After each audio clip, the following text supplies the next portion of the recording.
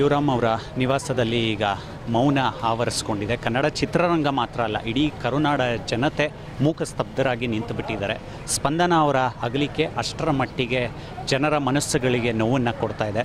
ಈಗ ಕನ್ನಡ ಚಿತ್ರರಂಗದ ಗಣ್ಯರು ಬಂದು ಕುಟುಂಬಕ್ಕೆ ಸಾಂತ್ವನ ಹೇಳುವಂಥ ಪ್ರಯತ್ನವನ್ನು ಮಾಡ್ತಾ ಇದ್ದಾರೆ. ಡಿಂಗ್ರಿ ನಾಗರಾಜ್ ಸರ್ ಮತ್ತು ಬಿರಾದರ್ ಸರ್ ಕೂಡ ಪ್ರಜಾ ಟಿವಿಯ ಜೊತೆ ಮಾತಾಡ್ತಾರೆ. ಸರ್, ಆಗಬಾರ್ದಾಗಿತ್ತು, ಆಗಿದೆ. ಯಾರಿಗೂ ಕೂಡ ಈ ಒಂದು ಸುದ್ದಿಯನ್ನು ಡೈಜೆಸ್ಟ್ ಮಾಡ್ಕೊಳ್ಳೋದಕ್ಕೆ ಬಹಳ ಕಷ್ಟ ಆಗ್ತಾ ಇದೆ ಈ ಸಂದರ್ಭದಲ್ಲಿ. ಏನು ಹೇಳಿಲ್ಲ ಕರ್ನಾಟಕಕ್ಕೆ ಇದನ್ನು ತಿಳ್ಕೊಳಕ್ಕೆ ಅದನ್ನು ಡೈಜೆಸ್ಟ್ ಮಾಡೋಕೆ ಆಗ್ತಾನೇ ಇಲ್ಲ.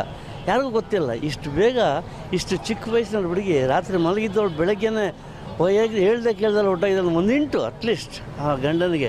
ಹಿಂಗೇನೋ ಒಂದು ಹೆಚ್ಚು ಕಮ್ಮಿ ಆಗ್ತದೆ. ಅವನು ಎದ್ದು ಮಾಡಿ, ಅವಳು ಮಾತಾಡ್ಸೋ ಪುಸ್ತಕಗಳಲ್ಲೇ ಕಣ್ಣು ಮುಚ್ಚಿ ಕಣ್ಣು ತೆಗೆದು ತಗೊಂಡೋಗಿದ್ದಾನಲ್ಲ ದೇವರು. ಅವನು ಎಂಥ ಕ್ರೂರಿ ಅಂತ ಇವಾಗ ಗೊತ್ತಾಗುತ್ತೆ ನನಗೆ. ಅದಕ್ಕೆ ನಾವೇನು ಮಾಡೋಕ್ಕಾಗಲ್ಲ. ಡೆತ್ ಈಸ್ ಇಮ್ಮಿನೆಂಟ್ ನನ್ ಕ್ಯಾನ್ ಎಸ್ಕೇಪ್ ಫ್ರಮ್ ಇಟ್ ಅಂತ. ಅದು ಯಾವಾಗ, ಎಲ್ಲಿ, ಹೆಂಗೆ ಬರುತ್ತೆ, ಯಾವ ಟೈಮ್ನಲ್ಲಿ, ಯಾವ ರೂಪದಲ್ಲಿ ಬರುತ್ತೆ ಅಂತ ಗೊತ್ತಿಲ್ಲ. ಆದರೂ ಚಿಕ್ಕ ವಯಸ್ಸಿನಲ್ಲಿ ಹಿಂಗಾಗಬಾರ್ದಾಯ್ತು ರಾಘವಿಗೆ.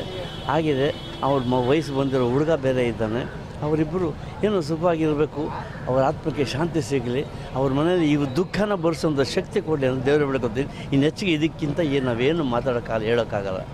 ಬಿರಾದರ್ ಸರ್, ಇಂಡ ಇಡೀ ಸಿನಿಮಾ ಇಂಡಸ್ಟ್ರಿಗೆ ಗೊತ್ತಿರೋ ಹಂಗೆ ವಿಜಯ ರಾಘವೇಂದ್ರ ಅವರು ಬಹಳ ಸ್ನೇಹ ಜೀವಿಯಾಗಿದ್ದರು ಎಲ್ಲರ ಜೊತೆ ಬೆರೀತಾ ಇದ್ದರು ಅಂದರೆ ತಾನಾಯಿತು, ತನ್ನ ಕೆಲಸ ಆಯಿತು ಅಂತಲೇ ಯಾವಾಗಲೂ ಸಕ್ರಿಯರಾಗಿ ಇದ್ದವರು ವಿಜಯ ರಾಘವೇಂದ್ರ ಅವರು.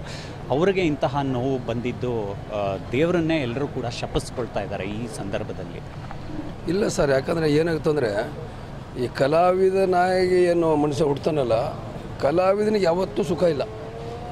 ಆದರೆ ಕಲಾವಿದ ಸಂಸಾರ ಆದರೂ ಸುಖ ಇರಬೇಕಂದ್ರೆ ಅದಕ್ಕೂ ದುಃಖ. ಹಾಗೆ ನಮ್ಮ ವಿಜಯ ರಾಘವಂದ್ರೆ ಹೇಗಾದರೆ, ತುಂಬ ಒಳ್ಳೆಯ ವ್ಯಕ್ತಿ. ನಾವು ಚಿಕ್ಕ ವಯಸ್ಸಿನ ನೋಡ್ತಾ ಇದ್ದೇವೆ ಪುಟ್ಟರಾಜು ಅವರು ಪಾತ್ರ ಮಾಡಿದರು, ಚಿಕ್ಕ ಒಂದು ಅವಾರ್ಡ್ ತೊಗೊಂಡು, ಎಲ್ಲವೂ ಓಕೆ. ಬಟ್ ಆದರೆ ಇದೊಂದು ದೊಡ್ಡ ಆಘಾತ. ಅದು ಯಾಕೆ ನಮ್ಮ ಕಲಾವಿದರಿಗೆ ಹಿಂಗೆ ಆಗುತ್ತೆ ಗೊತ್ತಿಲ್ಲ. ಅದರಲ್ಲಿ ಏನಾಗುತ್ತೆ ಅಂದರೆ ಸರ್, ನಮ್ಮ ಕಲಾವಿದರಿಗೆ ನಮ್ಮನ್ನು ಅರ್ಥ ಮಾಡ್ಕೊಳ್ಳೋ ಸಂಗಾತಿ ಸಿಗೋದು ಭಾರಿ ಕಷ್ಟ.